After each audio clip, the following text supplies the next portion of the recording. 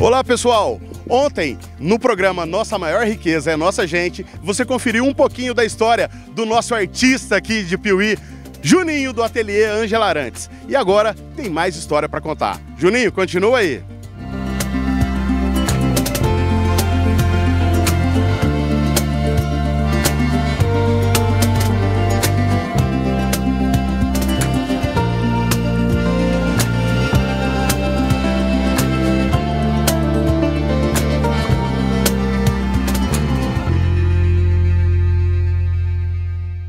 Juninho, tivemos a Expo Piuí e tivemos uma sensação no nosso estúdio que foi a Nossa Senhora em madeira que você colocou, fez o favor de colocar na frente do estúdio, onde todo mundo passava, devotos passavam, queriam tirar fotos.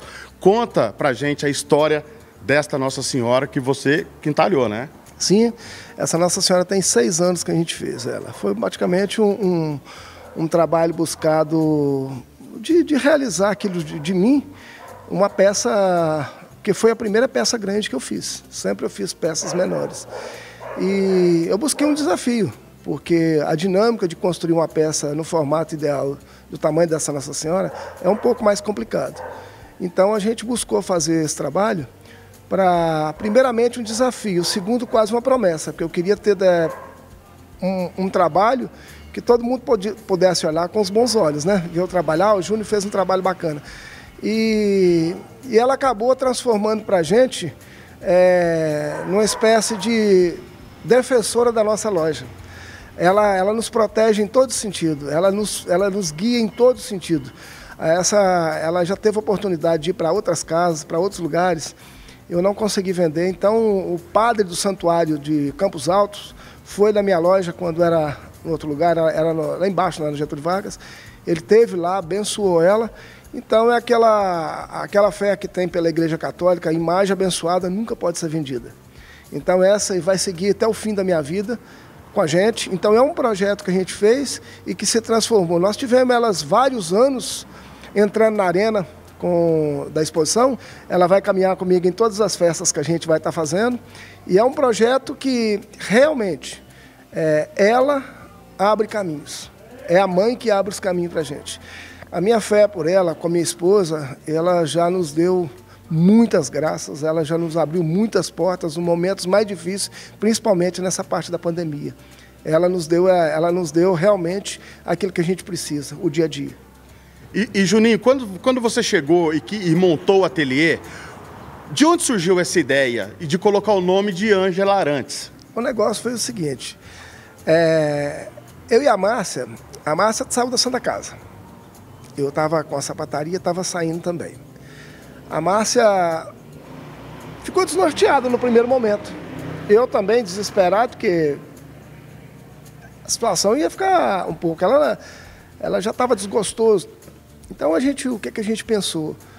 O que, que a gente vai fazer? A Márcia falou, minha idade, já mexer com professora de novo, trabalhar em outros setores, eu não sei o que eu vou fazer. E uma amiga dela, amiga da Márcia, que hoje é uma grande amiga minha também, lá de Belo Horizonte. E ela chegou pra gente e falou assim: Ó, oh, Márcia, você é tão prendada, você sabe fazer tanta coisa, o Júnior também sabe fazer tanta coisa. Monta um ateliê para vocês. Segue o exemplo que a sua mãe tinha. Monta esse negócio. Aí nós idealizamos, eu falei: vamos nessa vibe? Vamos fazer? Ela, vamos. Eu fechei a loja num dia, vendi tudo, o estoque, apuramos o dinheiro, ela apurou o dinheiro que ela entrou na Santa Casa e nós começou. A nossa loja era debaixo do porão onde a dona Ângela trabalhou.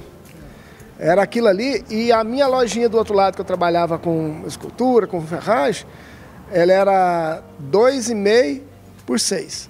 Era minha loja, minha oficina. Isso foi o começo. Inclusive, na hora que a gente dividiu, aí ficou 3 por 2,5. Minha esposa olhou na cabeça e falei, gente, como é que nós vamos pôr móveis aqui dentro? Como é que nós vamos pôr as coisas aqui dentro? É trem demais, é muito espaço é, vazio. E nisso a gente deu o primeiro passo, trabalhamos bastante. Já eu fui obrigado a, a pegar o espaço do fundo. Nesse espaço que já era maior, eu passei a oficina para o fundo, deixei a loja toda naquele espaço. É, seis meses depois eu já fui obrigado a pegar a sala da casa da, da dona do cômodo, que eu ocupei a, a, frente da casa dela, aí eu já ocupei o espaço do fundo, e aí com o movimento começou muito grande, ela me pediu o cômodo, que ela viu que estava muita poeira, muito movimento. Eu falei, eu vou ser obrigado a parar, ou então sair procurando outro lugar. Aí numa saída minha para Capitólio, por acaso, a gente já tinha procurado vários lugares, inclusive a gente tinha entrado no, no pregão da prefeitura, a gente um cômodo lá da praça, Padre Alberico, a gente tinha pegado ele, mas já estava mais quase dois anos na pandemia, aquilo estava rolando e não dava certo. Eu falo que é a mão de Deus, é ela segurando, a Nossa Senhora segurando isso aqui pra gente. Eu passei na porta Lugas, falei para ela, ela falou, segura aí, não sai daí não, tô indo agora.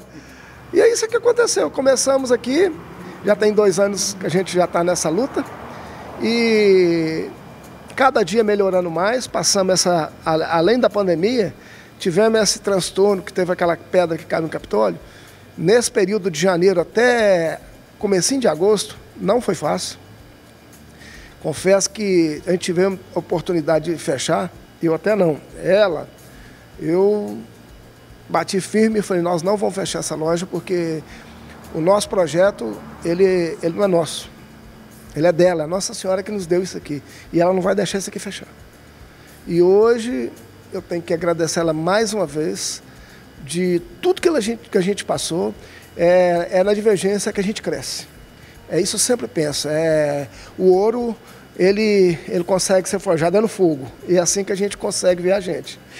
Sensacional, Juninho. E para você que quer vir aqui no ateliê Ângela Arantes, qual que é o endereço? Aqui é Rua João Leite, 188, em frente ao Parque Exposição, na saída para Capitólio. E reparem, tudo aqui tudo, inclusive essas poltronas que estamos sentados aqui. Esse cara que fez essa dupla sensacional, Juninho e Márcia, que fizeram tudo aqui com muito carinho e tá aqui para vocês, galera. Então, venha para cá. Isso aí, gente. Venha para cá, venha conhecer, venha tomar um café, venha degustar até um queijinho também. Venha degustar um queijo, uma cachaçinha fina, um cafezinho dos melhores. Vem pra cá conhecer. Juninho, muito obrigado pela entrevista. Agora eu sou mais fã teu ainda. Eu já fui, você foi um cara que me acolheu no começo, quando eu cheguei aqui. Pô, Pança, você. Então, assim, eu te agradeço de antemão, te agradeço em nome de toda a Onda Oeste, te agradeço por mim, por toda a minha família que sabe de você, que eu fiz questão de falar. Você, para mim, é um ícone. Parabéns. Muito obrigado pela chance de ser teu amigo. Muito obrigado. Eu agradeço a recíproca verdadeira. Eh, você é um cara fantástico. Espero ter a oportunidade de conhecer sua família. Tá? E com certeza, você está numa rádio que é, faz a diferença, você está com o pessoal que faz a diferença. E meu coração bate forte quando eu vejo a Onda trabalhando com a gente. Um abraço, gente. Muito obrigado, Juninho. Eu sou teu fã, eu sou o André Pança. Esse é o quadro Nossa Maior Riqueza é Nossa Gente, diretamente da cidade de Carinho, Piuí. E aí, pessoal, curtiu o nosso programa? Então faz o seguinte, se inscreve no nosso canal, participa aí. E você que gostaria de homenagear alguém que fez parte da sua história, fez parte da sua cidade, manda um e-mail pra gente, entre em contato com a Onda Oeste.